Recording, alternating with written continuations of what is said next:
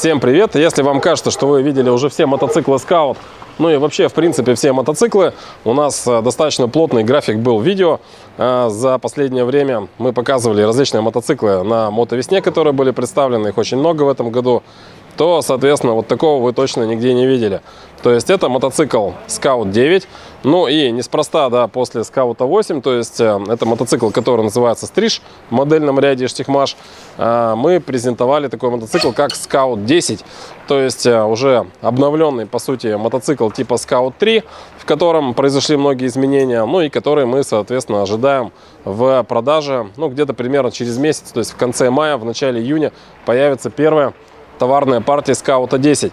Ну, а все это время изготавливался и проект Скаут 9. Ну, и вот тут мы можем посмотреть товарный образец.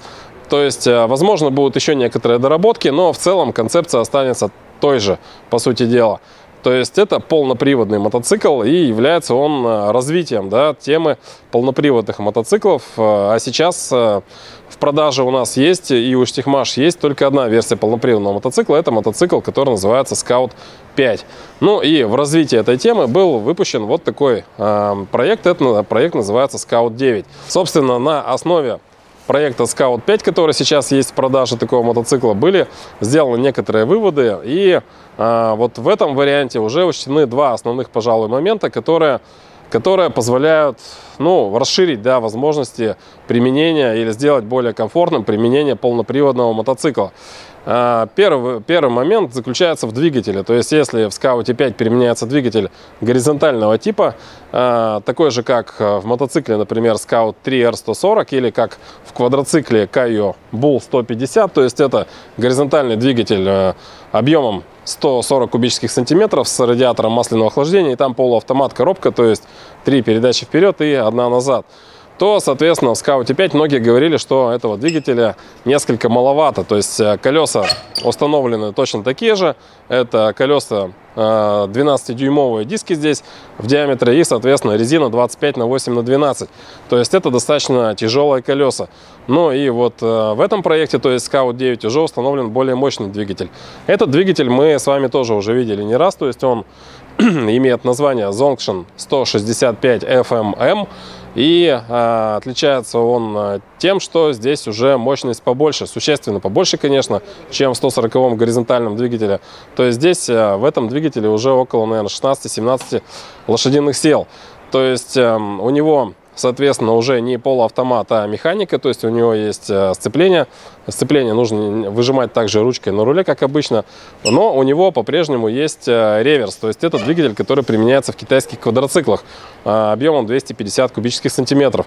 То есть эм, удалось сохранить э, как бы реверс, задний ход э, в полноприводном мотоцикле, что, конечно, является определенным плюсом. То есть мы уже не раз катались да, на полноприводных мотоциклах и э, и в принципе вот на скауте 3 R140 тоже, да, то есть мотоцикл, который попроще, но тоже с, с возможностью там заднего хода задний ход, конечно, штука хорошая. То есть, если он есть, то это расширяет возможности именно, что касается там вездеходного какого-то использования мотоцикла. То есть, можно выехать из грязи, проще говоря.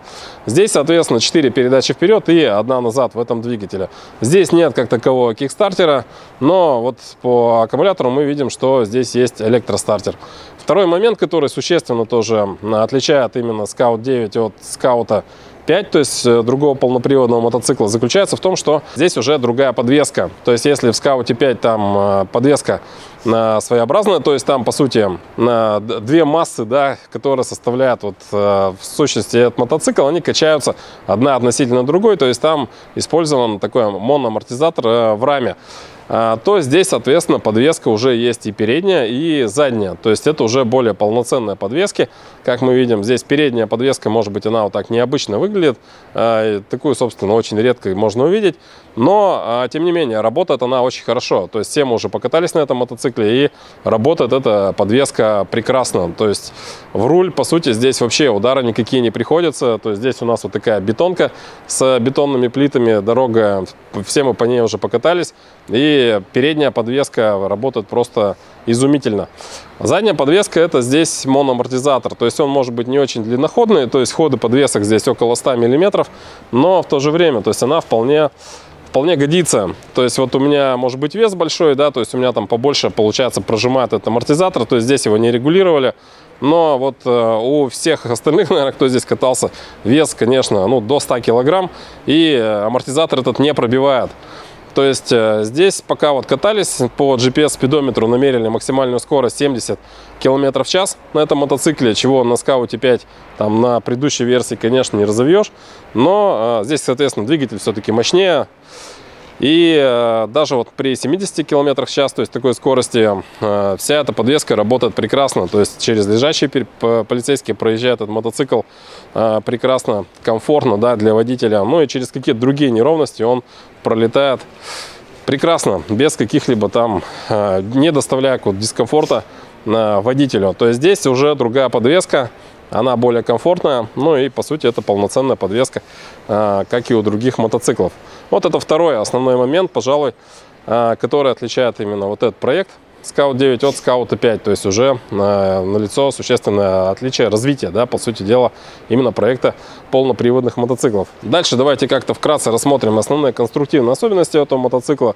Может быть, подробно не будем вдаваться там в какие-то особенные элементы, но если начать, вот, например, с колес, то, как мы уже говорили, колеса здесь стандартные 25, резина, да, 25 на 8 на 12 ванда, то есть она вот такой имеет направленный рисунок, типа елка, и используется, ну, много где в продукции и штихмаш. То есть это э, мотоциклы Scout 3 с вертикальным двигателем, э, с вот такого рода резиной на дисках 12 дюймов. Э, то есть они есть в продаже, это примерно 3 или 4 модели. То есть Scout 3 200, Scout 3 V 250, 3 VR 250 с задним ходом, вот с таким же двигателем. Эти версии есть в продаже. Ну и, соответственно, еще эти же колеса используются тоже в другом полноприводном мотоцикле, который есть в продаже, это Scout 5. Резина это достаточно тяжелая, то есть это крупные тяжелые колеса, такие же, как вы знаете, применяются в квадроциклах покрупнее. То есть, если, например, сейчас вот у нас продажи, там есть какие-то квадроциклы на в основном э, кубатуры 200 и 250, и там всегда идет резина на дисках 10 дюймов, то есть размерность там передних колес 23 на 7 на 10, то это уже резина на колесах, как правило, э, то есть это, это, эта резина, эти диски используются уже на квадроциклах, там, как правило, полноприводных, ну, и либо хотя бы на промежуточных вариантах, типа 300 кубических сантиметров, там, с карданным приводом на заднюю, э, на заднюю ось. Ну, то есть в квадроциклах помощнее даже среди, по сравнению с теми, которые вот сейчас в основном продаются на рынке. Дальше, соответственно, если посмотреть там э, конструкцию рамы, например, то рама здесь полностью своя. Здесь нет каких-то там элементов от других мотоциклов Scout. Ну и как видно, она очень специфична. То есть здесь э, вот в эту клетку Э, устанавливается двигатель, который тоже является частью силовой конструкции. Она, конечно, замкнутая, то есть мы видим, что она вот такая как бы дуплексная эта рама, но внутри достаточно ну, э, по трем точкам, да, вот видно. То есть вот точки крепления двигателя, то есть здесь две, сзади две точки крепления двигателя, ну и сверху, да, вот мы видим. То есть двигатель тоже усиливает как бы, да, эту конструкцию, то есть пространственно, э, именно конструкцию рамы. Маятник задний, ну, он по сечению, конечно, может быть похож на маятники, которые мы уже показывали на мотоциклах Scout 6 и Scout 3 сейчас применяются маятники с такой же трубы, но здесь он свой, то есть он имеет свою длину и вообще, в принципе, он по-другому сделан для именно конкретно этого мотоцикла. Дальше расположен вот такой подрамник, можно сказать, и он тоже является частью силовой конструкции. То есть вот это же внедорожный мотоцикл, соответственно, можно будет за вот этот багажник, например, его вытаскивать как-то, буксировать или что-то еще. Кстати, мотоцикл относительно не э, тяжелый, то есть он весит 152 килограмма, его снаряженная масса. Что, конечно, ну, как бы относительно немного. Дальше пройдемся по основным вот таким элементам. То есть здесь седло, э, это седло какого-то квадроцикла, квадроцикла, и оно одноместное. То есть здесь не подразумевается там э, перевозка второго человека нет здесь и подножек пассажира. То есть это вот особенность здесь в том, что эта конструкция одноместная. Scout 5, кстати, там есть место под второго пассажира, есть подножки. А, то есть Scout 5 это вот тоже полноприводный мотоцикл, но который сейчас есть в продаже. Бензобак здесь объемом 6,5 литров, то есть по характерной форме можно узнать, что бензобак этот от э, двигателей типа Lifan, который покрупнее с валом на 25, типа 15 лошадиных сил, там 20, 17, 18. Э, ну, то есть здесь вот для компоновки использован такой бензобак, ну и, собственно, он и останется. Э, объем у него еще раз, то есть где-то 6,5 литров, но здесь вот в штатную комплектацию будут входить э, такие вот такие вот канистры. То есть эти канистры всем знакомы, у нас они тоже всегда есть в продаже много лет. Мы видим вот объем 1 галлон. То есть в сумме, ну это примерно 5 литров одна канистра, там 4 с чем-то. В сумме около там 9 литров получается здесь еще можно с собой возить бензина. Но э, можно посмотреть, как это все сделано, да, то есть вот это место крепления, оно тоже штатное получается, то есть здесь такие специально сделаны. Давайте попробуем открутить, если получится. Они не так просто тут откручиваются. И там мы увидим, что сделаны соответствующие кронштейны для того, чтобы можно было установить эти канистры. То есть можно установить канистры и покрупнее, если кто-то хочет. Или вообще использовать багажник, да, еще для перевозки дополнительного, например, топлива. То есть вот, вот эти штуки, они стандартные, ну и можно установить канистру, в принципе, какую угодно. А если вы видите, что вот здесь вот, например, да, можно выбрать канистры самого разного объема, то есть и 10, и 20 литров, кому что нравится. Ну, здесь вот в штатные места установили пока 5-литровая, грубо говоря, канистра. Давайте дальше рассмотрим, собственно, что здесь есть в этой конструкции. Глушитель мы здесь видим вот так, именно такой, то есть он не стандартный, но такой уже используется в мотоциклах, в различных э, скаут, например, в стриж, да, вот еще где-то мы видели такой глушитель. И он отводит как бы выхлоп вниз. То есть не надо здесь уже там выводить куда-то на ту сторону, переводить. То есть здесь мы видим вот такое колено. И выхлоп его, вот он где-то снизу, получается у него сопло. Дальше мы видим здесь 9 амперный аккумулятор гелевый, стандартный. То есть можно увидеть, вот под него тоже стакан тут сделан такой, специальное штатное место. Если перейти к двигателю, то мы можем обратить внимание, что это двигатель с э, верхним распредвалом. Ну, это лучше видно, наверное, с той стороны. У него есть балансированный вал по характерным вот приливам, серебрением можно увидеть. То есть это двигатель Zongshin, еще раз, 165 FMM, у которого есть механическое сцепление. То есть это такое механика, да, как еще у нас называют. Здесь сцепление необходимо выжимать вручную. У него 4 передачи вперед и одна передача назад. Нет кикстартера, но есть электростартер. Тормоза еще, да, вот с этой стороны мы видим. То есть это такие стандартные тормоза, которые используются на мотоциклах Scout 3. А, то есть они независимые, конечно. То есть у каждого свой там гидробачок. То есть это не какие-то комбинированные тормоза, как бывает. А, здесь, соответственно, рычаг управления передним дисковым гидравлическим тормозом. Ну и а, задний тормоз управляется педалькой. Все это управляется достаточно комфортно. Мы уже все покатались на этом мотоцикле и все это работает вполне комфортно и так, как надо. Крылья мы видим здесь стандартные вот мотоциклов типа Scout 3. То есть это крылья от какого-то российского прицепа автомобильного. А, ну и с этой стороны вот можно рассмотреть конструкцию, например, трансмиссии. Да? То есть а, из двигателя цепью, вот это все единая цепь, крутящий момент передается на промежуточный вал то есть вот на этом промежуточном валу с одной стороны стоит одна звезда, и с другой стороны другая. С этой звездочки э, цепочкой передается крутящий момент на заднюю звезду. Ну, а с той звездочки, которая на другом конце этого вала, передается вот сюда, соответственно, на как бы промежуточный вал э, переднего колеса. Ну и сюда уже э, идет цепочка на переднюю, на звездочку переднего колеса. Звездочки переднего колеса и заднего одинаковые. 50 зубьев, кажется, сейчас установлено. Здесь же можно обратить внимание и вот на эту э, часть, да, то есть сейчас сделали уже по-другому.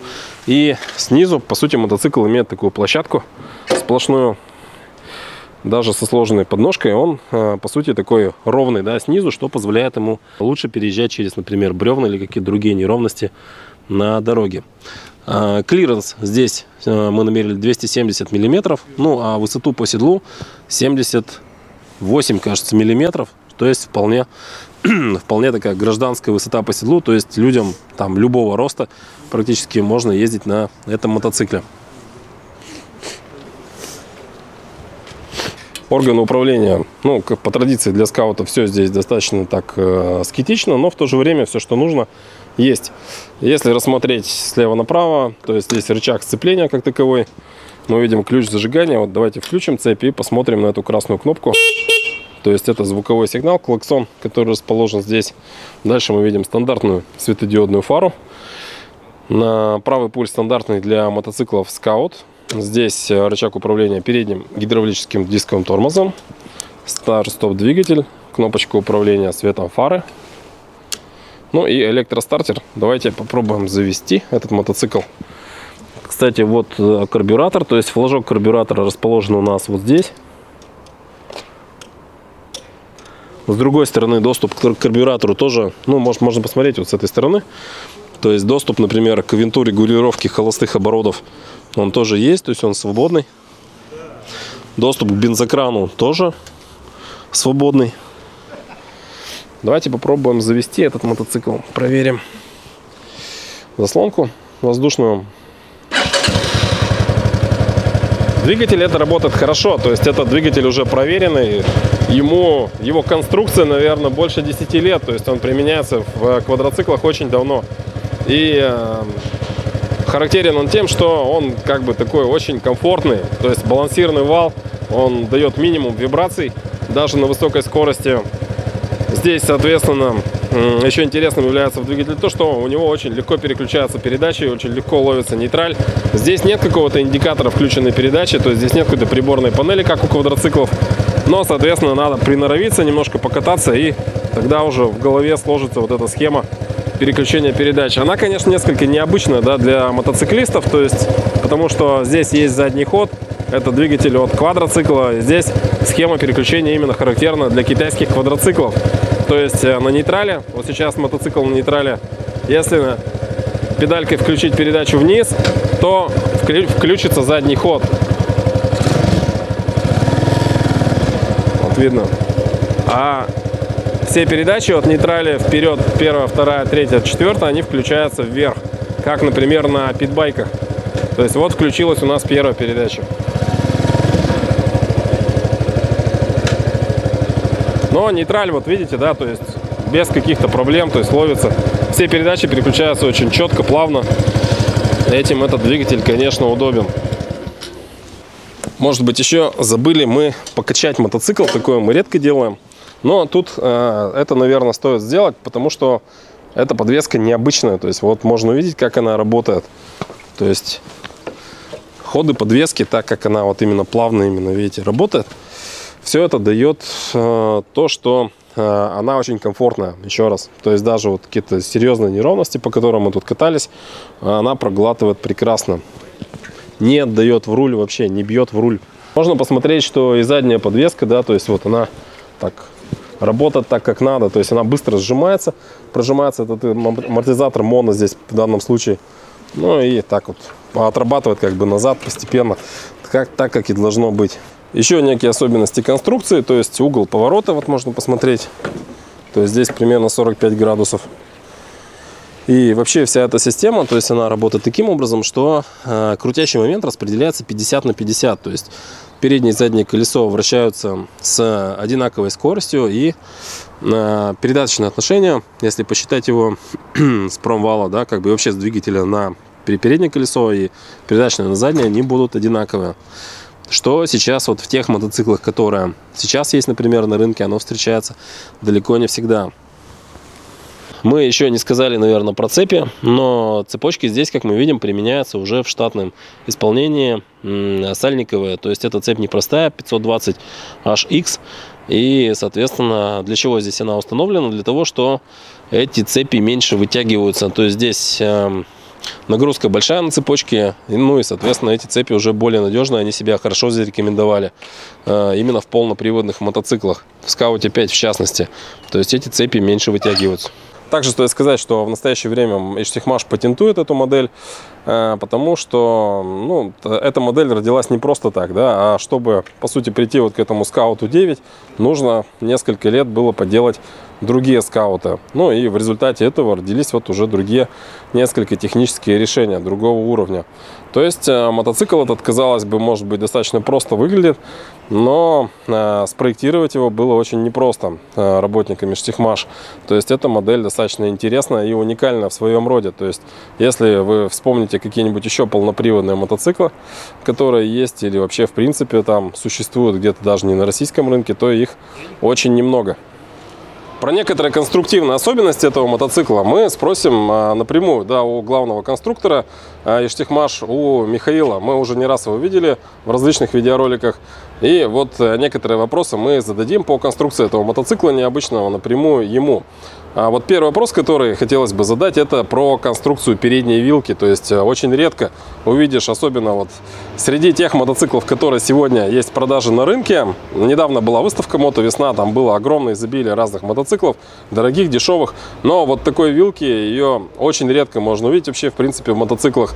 И э, вот покатавшись на этом мотоцикле, все мы оценили, в принципе, что она работает очень хорошо. То есть она прекрасно подходит к этому мотоциклу, то есть э, демпфирует все все колебания и вот очень, очень качественно, очень комфортно едет мотоцикл с такой вилкой. Хотя вот несмотря на то, что здесь достаточно тяжелое переднее колесо, ну и весь этот мотоцикл, его концепция, он полностью внедорожный, полноприводный. А, Михаил, расскажи, пожалуйста, про конструкцию передней вилки и вот э, как, э, собственно, где, где она еще применяется и в чем ее особенность. Э, выбор именно такой конструкции э, был обусловлен именно тем, что мы хотели остаться, как и на Скауте 5, на трех э, цепях. А именно это обусловило применение вот именно рычажной вилки, которая качается на двух рычагах, верхний и нижний.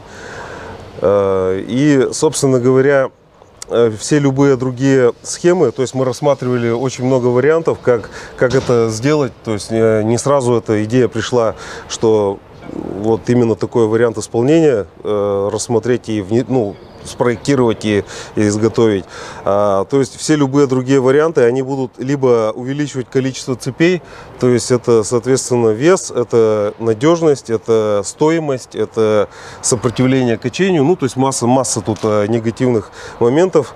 Точно так же неподрессоренные массы, а, скажем, если вот в варианте, э, есть варианты очень много в интернете, можно даже увидеть, самодельщики делают, некоторые э, небольшие компании которые небольшими э, партиями выпускают мотоциклы, даже, скажем, за рубежом, э, они используют э, стандартную телескопическую вилку, но в этом случае э, возникают тоже большие неподрессоренные массы, э, так как там ну, механизм не так прост в производстве, и, в общем-то, они все тоже добавляют вес. Вот. Э, в нашем случае э, как бы получается, что э, сама вилка несущая и элемент демпфирирующий, который, ну, в данном случае это у нас амортизатор, который расположен по центру, они разнесены. То есть это примерно как вот на, на вилках у BMW мотоциклов. Они часто любят использовать вот эти вот свои паралевер, телелевер фирменные вилки, подвески мотоциклов. И, в общем-то, это вот вариация на тему такая, которая, ну, как бы я считаю, что нам вполне удалась. И она ну, наиболее подходящая для использования именно вот в этой концепции, которую мы предлагаем. А, хорошо, давайте поближе, может быть, посмотрим. Вот не все видели вообще принцип действия такой вилки. Может, покачать? да, вот давайте я, наверное, сяду на мотоцикл и немножко покачаю. А заодно и зададим Михаилу очень какие-то простые, может быть, вопросы. То есть вот так она примерно работает. И по сути, когда э, едешь по дороге, по неровностям, то никаких э, биений там в руль, да, в руки водителя здесь не происходит.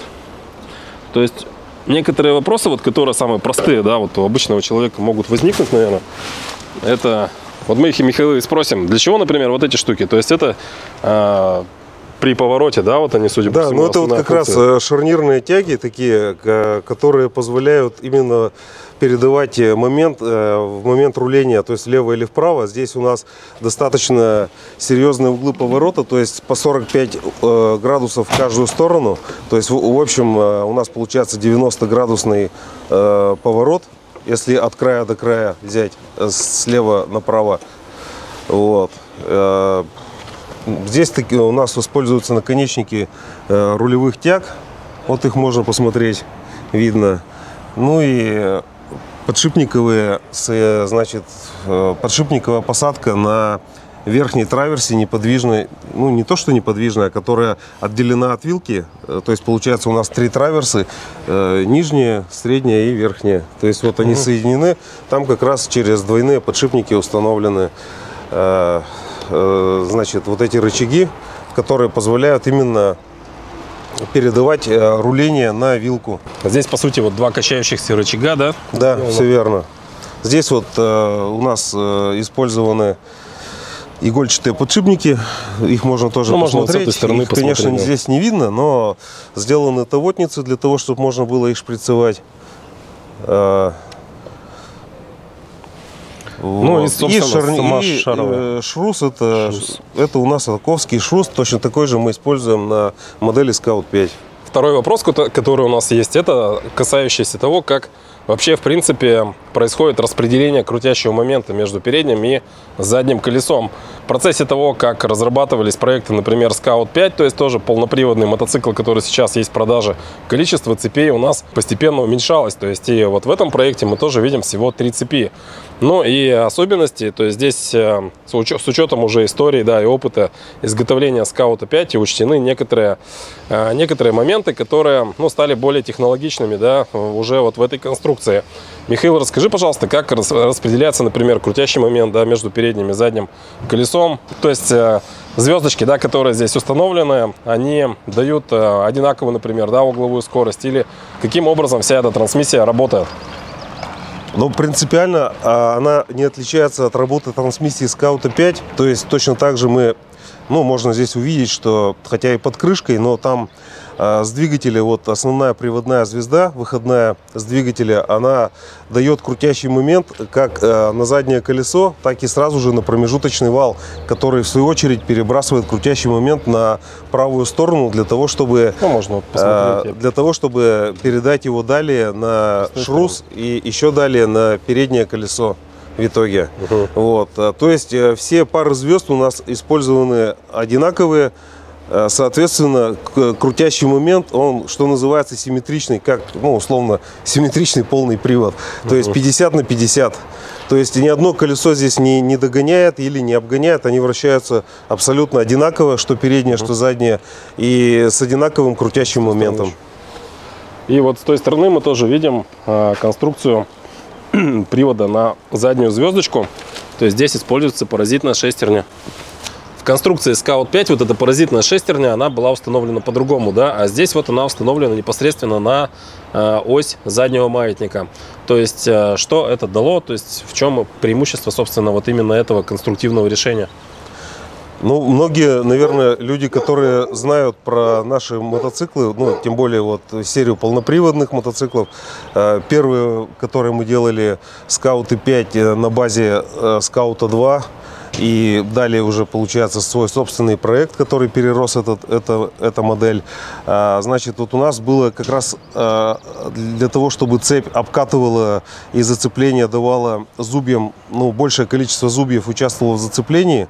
А, Вот эта паразитная звезда, так называемая, Изначально она была у нас установлена на первых образцах и на опытном мотоцикле, но потом мы от этого отказались, потому что было невозможно выставить эту звезду строго перпендикулярно. То есть все время вот э, знакопеременные нагрузки, которые возникают при езде на мотоцикле, особенно вот в тяжелых условиях, то есть когда мотоцикл едет с открытым полным газом или тормозит, соответственно, вот эти большие нагрузки, они все пытались э, вот эту ось э, паразитной звезды, ее в ту или иную сторону ну, как бы так сказать, не то чтобы загнуть, но, по крайней мере, а, она становилась не перпендикулярна. И не хватало жесткости ни рамы, ни, э, собственно говоря, э, не, собственно говоря, вот э, самого штока, на котором она крепилась. В итоге мы для начала перешли на капролоновые капролоновые вот эти вот ролики, которые должны были нивелировать вот этот как раз изгиб возникающий. Но э, со временем оказалось, что у них э, износостойкость э, ну, недостаточная, то есть на небольшие пробеги хватало. И э, мы вот этот сейчас устанавливается на всех новых э, мотоциклов Scout 5 с прошлого года. Точно так же мы вернулись снова к, своей, к своему пер- первоначальному решению. Устанавливаем звезду. Единственное, что мы усилили сам шток, к которому э, крепится консольная эта звезда. Э, То есть он сейчас равен 17 миллиметров, там стоит гораздо ну, более мощный усиленный подшипник. И мы этот узел просто доработали, усили, усилили. Но в этом случае, в этом мотоцикле, э, мы уже сразу решили с- э, уйти от этого на, на этапе проектирования. И поэтому расположили его на оси качания маятника, что дает такое большое преимущество. Э, эта звезда, она всегда будет строго перпендикулярна э, вращению цепи. И как бы от этой проблемы мы уже вот раз и навсегда ушли. Понятно. И вот еще одна особенность, которую мы тоже здесь видим, это то, что сейчас э, нижняя часть мотоцикла вместе с защитой, ну или вот со сложенной подножкой, по сути дела, она такая ровная, да, то есть в основном это все-таки мотоцикл для поездок по бездорожью, в том числе по лесу, ну, с какими-то ухабами, там, с бревнами.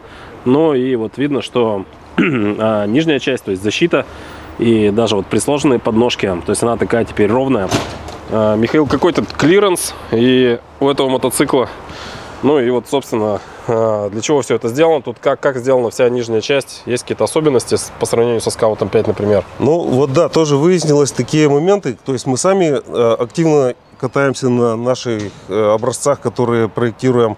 И, в общем-то, такой момент возникал, что вот э, кронштейн бокового упора, даже несмотря на то, что он, допустим, миллиметров на 30-35 э, там вниз давал дополнительный габарит, с одной стороны, это уже было некоторым препятствием, особенно при переезде, например, через бревна, да, когда ты им просто упирался, и надо было, ну, как-то балансировать, там, мотоцикл раскачивать, в сторону его заваливать, чтобы переехать. Вот, поэтому Поэтому здесь мы изначально хотели сделать так, чтобы боковой упор при сложенном состоянии, он как бы в габариты дорожного просвета ну, не, не скрадывал его, уходил как бы в раму, складывался.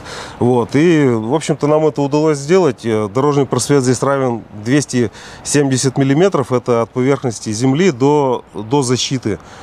Вот. И, в общем-то, я считаю, что такое решение, оно, оно более оправдано для такой вот супер э, сверхвнедорожной техники. Спасибо, понятно. Еще хотелось бы спросить, а какие детали использованы вообще, в принципе, с предыдущих версий скаутов? Ну, не то, что с предыдущих, а с тех, которые сейчас, например, есть в продаже. То есть здесь мы видим, что все равно между различными моделями да, мотоциклов Scout есть такая вот взаимозаменяемость. То есть используются уже детали, которые в принципе есть в производстве. То есть э, здесь вот мы видим, например, ну, звездочки да, или колеса. От, э, какие детали используются от других скаутов? Ну, конечно, да, при разработке нового изделия мы отталкиваемся от того, что уже сейчас освоено и э, существует уже в массовом нашем мелкосерийном производстве. Вот, то есть все ступичные, э, значит, э, сами ступицы, они имеют деталировку ту же самую. Единственная разница, это просто, ну, под э, сама сварочная сборка, она уже по своим размерам сваренная. Звезды, как вы уже сказали, это 50-зубовые звезды. На колесах это они используются на Скауте 5. Колеса 12-дюймовые с резиной высокий, 25 резина с высокими грунтозацепами, которая тоже используется у нас и на скаутах 3. Есть модификации там 3200, 3250, 3250R. А, ну и скаут 5 тоже на этих же самых колесах, потому что ну, вот они как бы оптимально сейчас на данный момент э, э, решают те задачи, которые поставлены, ну, ставятся вот перед э, таким, перед такими мотовездеходами. понятно.